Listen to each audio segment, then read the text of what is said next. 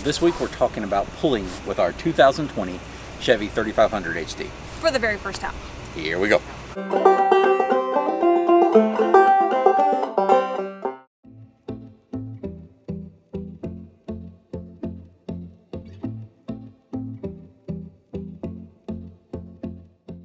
So we stayed at a really beautiful resort up in uh, Dandridge, Tennessee called Anchor Down. Was beautiful. Um, we explored Pigeon Forge, Gatlinburg, Dollywood.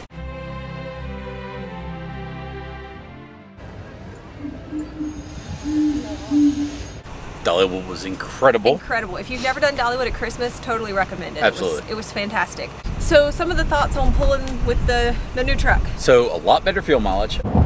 So right now we're averaging around 11.1 miles per gallon. So with the Ford pull in this same camper, we were getting around seven miles per gallon. Um, so it's a little better.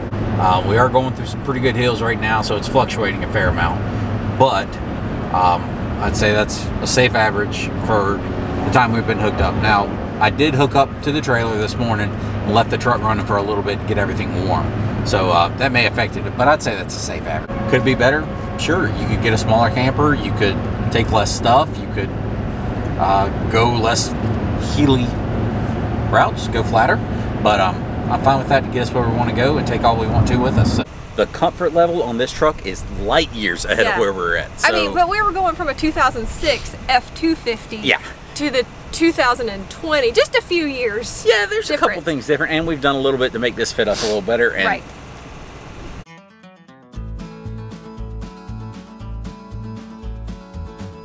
We put a fuel system on here that allows us to stop when we want to stop, when it's convenient for us, not necessarily when the truck needs fuel. So we did add that 40 extra gallons of fuel. That's with the TransFlow system up here, and it, I have it in the bed of the truck. We can make it about 700 to 1,000 miles. We haven't really pushed this one yet, but pulling the camper, so that gets us a pretty good opportunity to pick out a good, safe spot that we can get a camper in and out. A lot of times with a rig this long, you have trouble getting in and out of like small gas stations, like a mom and pops kind of thing. So we find it more convenient to stop at like truck stops and the ones that we feel are safe. Well, we didn't have to stop for fuel uh, for our diesel tank, but we did for our tummies, and everybody had to go to the bathroom. So one of the good things about RVing right now in the world the way that it is, a lot of restrooms are closed, a lot of restaurant um, dining rooms are closed. So we were able to run through um, a drive-through, grab some lunch, and then run back here and eat it in our camper and use our bathroom.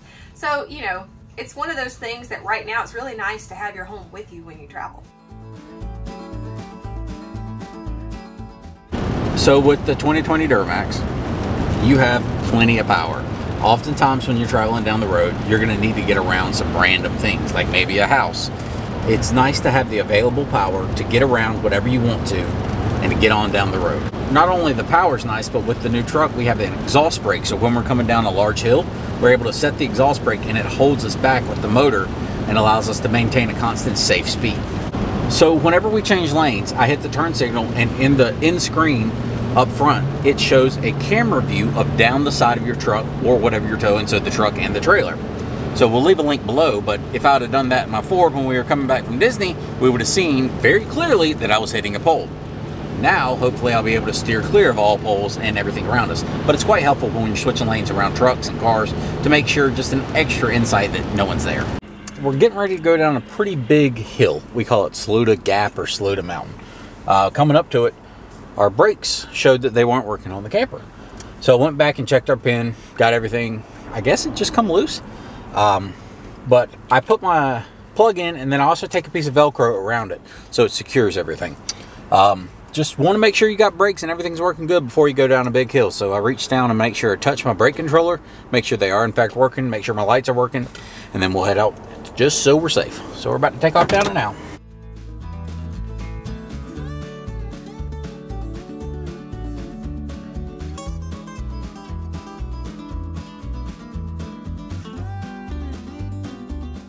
This truck is awesome. Now, do you think that um, the front of the camper will stay cleaner?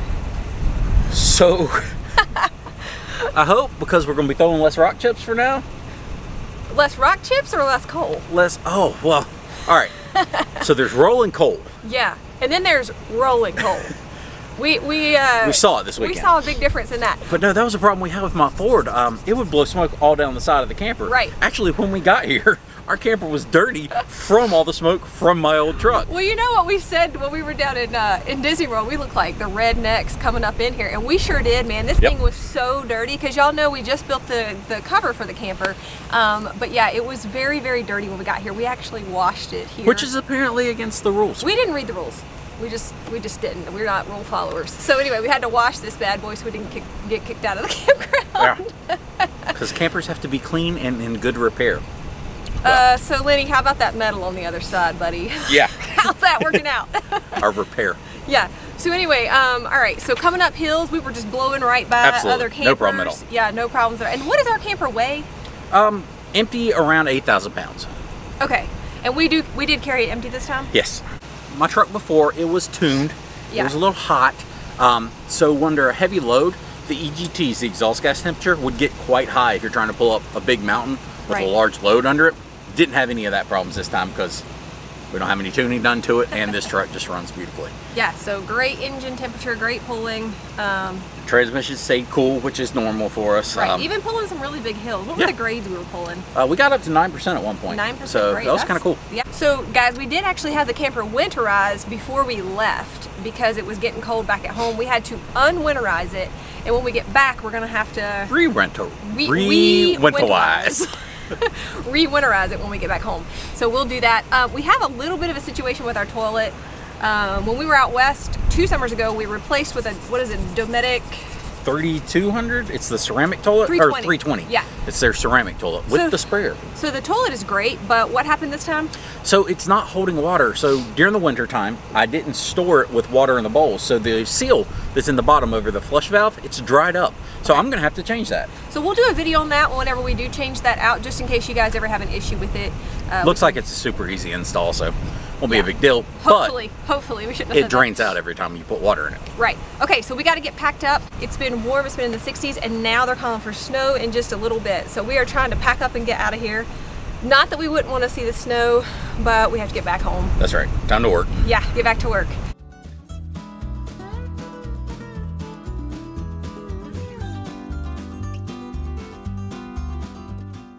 all right guys i think that's about to cover it so uh we'll see y'all next week on the Neu Adventure Bye. bye guys